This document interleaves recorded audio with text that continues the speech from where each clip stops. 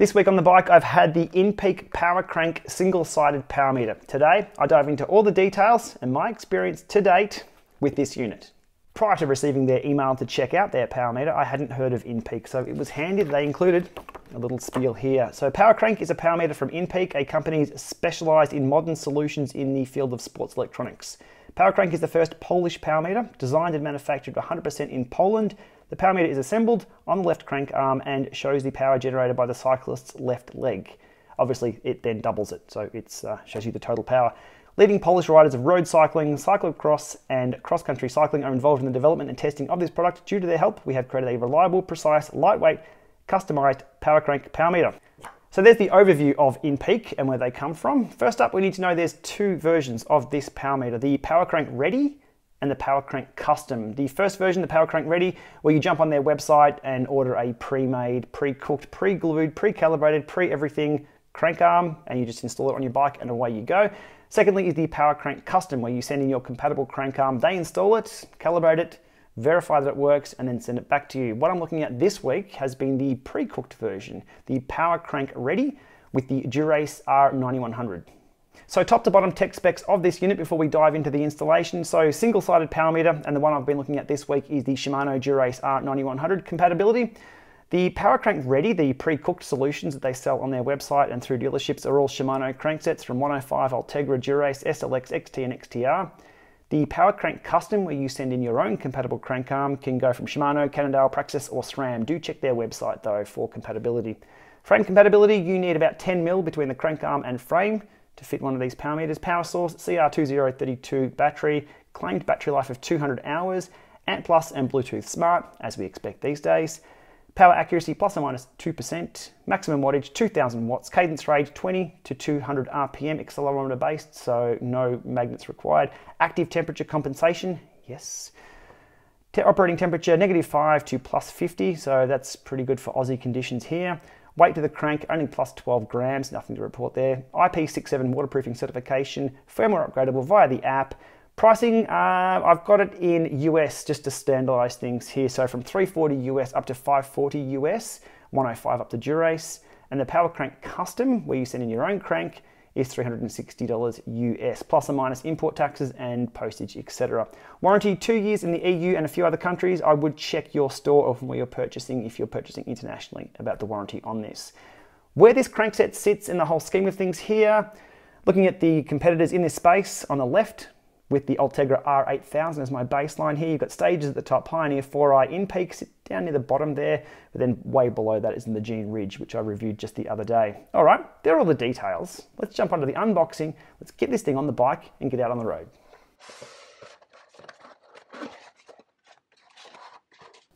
I do really like Dura stuff. It is quite nice.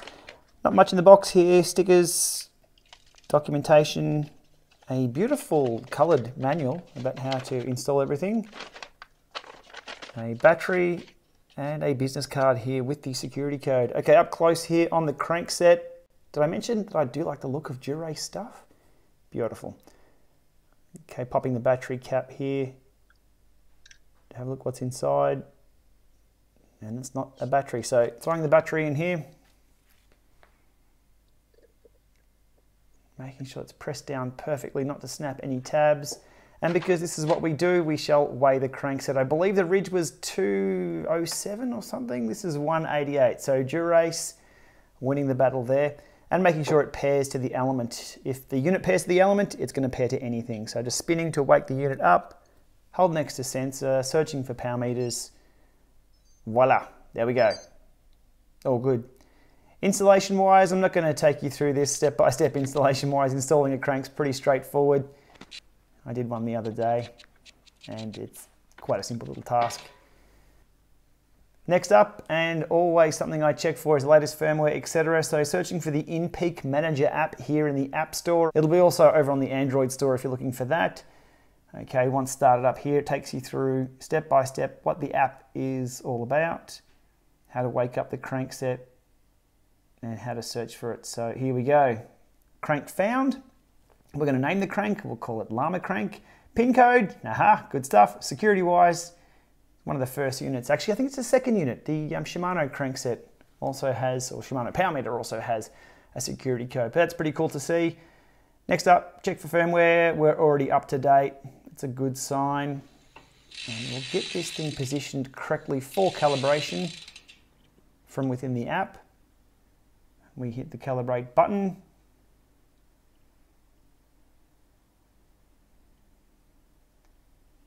There we are, calibrate value of two. Happy days, time to go for a ride. So over the last few days, I've been out here on the beautiful open roads. I can't report on the waterproofness of the unit because it's been beautiful weather.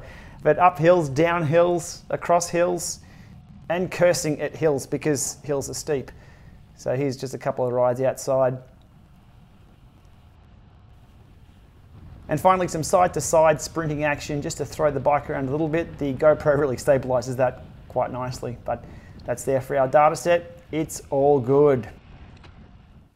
Okay, here we are once again, DC Rainmaker's analysis tool, where we can compare multiple power meters together with an overlay and see how they stack up against each other and find ourselves down some rabbit holes we never ever wanted to go down. Today, four rides, four nightmares. Let's get into the details. So, first ride, if I've got the time, I like to discard the first ride as things bed in, as I've changed pedals over, just sometimes that's the way to do it. But I'm going to include this one because it's indicative of what happened for the rest of the week.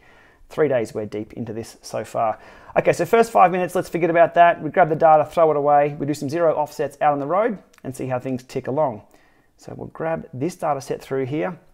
The InPeak is very peaky, I'll give it that. There's the raw data here, uh, so one second um, reporting with the Assioma Duo, so dual sided. I'll split the thing later on to Uno, so bear with me. But what we're seeing here is the InPeak power meter reading a little high by probably 15 to 20 watts, just riding along, just riding along. Now, that, is that me being left, right, wonky?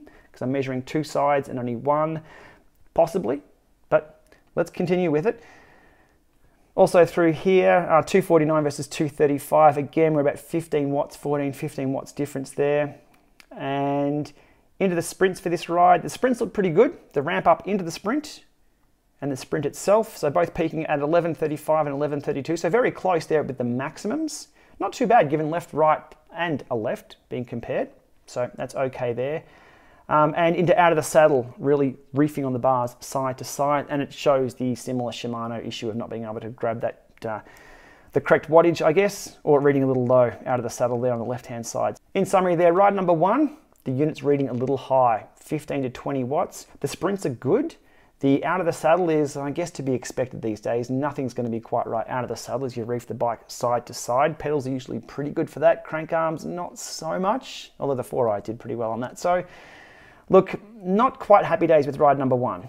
On to day two of data collection with this power meter. Uh, we're going to throw away the first 15 minutes where I did perform the zero offset and then we dive into the data here. This is the Assioma Duos and the InPeak power crank. Um, all is looking really well. 239, 239, pretty good after that zero offset after 15 minutes. The blue line there is still a little more jagged compared to the uh, Assioma Duos. But happy days, I thought everything was sorted, all good. And then at about 38 minutes there, I stopped. I split the Assioma Duos into Uno, so left only and left only crank. And from here on in, that's all I'm using to test, even indoors. So it gives us a true representation of the left power and takes me out of the equation. So my left-right wonkiness doesn't really come into play here. And from there, again, the data was pretty good. So diving in here, you can see it's a little more jagged from the InPeak unit. But 208, 204 average. Here's the hill climb here. Uh, again, very jagged, it's unsmooth, but 278, 275, not too bad. And then just riding home, uh, what do we have? 158, 159. So based on this data, everything looks pretty good. After that 15 minute zero offset being performed, it looked good against the duos, it looked good against the Uno, and it was happy days. So two hours later, indoors, exactly the same configuration, but using the Uno, so the left pedal and the left crank, and the Tacx Neo. I'll jump up and show the data here. Uh, we didn't quite get to the end of the Lama lab test. In fact, I pulled the pin pretty early a number of times because I just wasn't going to complete it with the numbers that I was seeing. So exactly the same configuration as outdoors, zero offset performed across all power meters at zero minutes and at 10 minutes. Here's what we're seeing for the steady state stuff. The blue is uh, the InPeak power crank We have the Uno. It says the Assioma Duo is up there, but it was the Uno. It's got the same ANT ID. So this was the Tacx Neo and Assioma Unos agreeing, and the InPeak, as you can see, climbing just here, up to 230 watts at the 200 watt steady state zone. That's why I pulled the pin pretty quick on this. I'm not going to complete a Lama lab test if the numbers are that far out. I hit tab on the Zwift workout, went to the 250 watt zone, and we were seeing still a separation of 20 to 25 watts through the steady state stuff absolutely horrible. Um, as comparison, the Magene single-sided unit that I had the other day, that's what that looks like for the full 10 minutes and 20 minutes sections through here. So even though I was nitpicking that the other day, yeah, we got problems. So I stopped everything. Uh, I kicked the dirt a little bit and uh, wondered what I was doing wrong. I then zero calibrated or I miscalibrated the unit to make it read a wrong offset and then did a Lama lab test again. So I expected to be wrong here, and it was. It was reading low. Excellent, cool. I had an impact or I influenced the readings of the power meter, which then gave me a chance to re-zero everything again and perform the Lama lab test or attempt to perform the Lama lab test. And again, I still pulled the pin. Um, I was getting left-right wonky, so you can see a little separation there between the Assioma Uno and the Neo, but the InPeak was still way too high. So I pulled the pin on that. Um, I really wasn't happy with how that performed indoors whatsoever. That wasn't a power meter that I could compare to any other power meter. Um, if you were training in those zones, 20 watts to 25 watts difference is what it is, is what it is. So two days deep into using this power meter and collecting all the data and trying to understand what's going on, and those three rides, of which only one really succeeded, I packaged all this up and sent it over to InPeak for them to have a look at and to try and explain what was going on, especially why it was failing the Lama lab tests so far out. They responded pretty quickly within minutes, which was good, with the question of did I tighten the pinch bolts up on the crank to 14 newton meters? They were around 12, I think, when I checked, so good call. I uninstalled everything last night. I reinstalled everything, re-greased everything, cleaned everything, got the torque wrench out to 14 newton meters, which is the maximum setting as stamped on the uh, edge of the crank there. So 14 newton meters, both sides, evened the, uh, the sides up. Everything was absolutely kosher. And then performing the zero offset, the unit said zero. So that was happy days for that. Fingers crossed, I was pretty excited to get on the road today and make sure that everything was all okay. Rabbit hole number four. Here's today's data. So today's data, and I have to write this down because it got a little complex out on the road.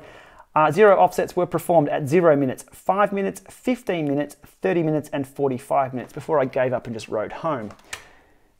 Breaking those down. So the first five minutes, let's throw this data away because the crank was reinstalled, but let's have a gander anyway, what's going on. And the power crank in blue was reading low. Cool. This is where I jump on the bike, stomp on the pedals, back pedal, jump, put the crank at 90 degrees and 180 and 270 and jump around and really push on it just to settle things down. So throw that data away, but it was reading low. Between 5 minutes and 15, um, we have the data here and it's reading high again. Um, through here, some steady states, we're looking at 272 versus 325. So we've got a massive separation. This is up against the Uno. So this is not left, right, wonkiness. This is left pedal and left crank arm being separated by a bucket load. Hmm. 15 minutes to 30 minutes, stopped, did another zero offset. It came back with another number on screen. Happy days. Happy 15 minutes. That looks all pretty good. 243, 247, um, up some hill climbs here, a little bit of separation through there. But other than that, uh, if we were to dive into just this hill climb here, that's looking pretty good. Again, the InPeak is very jagged, it's very unsmooth. 291, 294, that's all good. I thought, okay, cool, we're done. Bottom of the hill at the 30 minute mark, re-zeroed, bike perfectly straight up and down. The cranks, 12 o'clock, 6 o'clock, the bike perfectly still. Re-zero offset done again. Uh, that, what what is this? Um, same kind of hill and same kind of effort as well. It was the opposite side that I rode up. Um, well out, well out with just one zero offset performed as per spec. Um, and just picking one spot here, so 327 versus 372. That's daylight between the left crank and the left pedal. Hmm. So persevered, rode, we found another hill. So this is me riding to another hill, 199 versus 241. Way. Found another hill, Zero offset it again. The final time, we're done with zero offsetting this unit. So this is the last time I'd do that. Um, we even had a dropout for the Faveros. I don't care that there was a dropout from the Faveros. I care, I'll look at that later. I care about the massive separation between these two power meters now for no apparent reason other than I did an offset and now it's all skewed. So here's what we have. Um, again, pick a point in time, spin the uh, roulette wheel, 339 versus 365. And down here near the end, 341 versus 394. Uh, anyhow, so after this hill, I turned around, rode down the hill and rode home. I was done. I am done with zero offsets. My fingers were getting sore pressing the button so many times trying to offset this thing to get it read correctly. It wasn't going to happen. But then from there on, from the top of the hill home, it really wasn't too bad. It wasn't 50 watts out the whole way. So here's some steady state stuff through here. 203 versus 216. Well, okay, it's probably 13 watts difference, but it's not 50 watts difference. Um, hmm. Anyhow, we're done here with the rabbit hole. So in wrap up today, look, that's been a frustrating three days, trying to understand this unit and trying to get it reading correctly. I'm still questioning what I'm doing wrong, but after a number of installations and comparisons against the Assioma Duos, the Assioma Unos, the Tacx Neo, doing multiple zeros, and that multiple zero seemed to sending it all wonky. I, I, don't know what's going. Look, it has shown some brilliance there from ride number two from 15 minutes onwards, and in today's ride between 15 minutes and 30 minutes. That data was pretty good.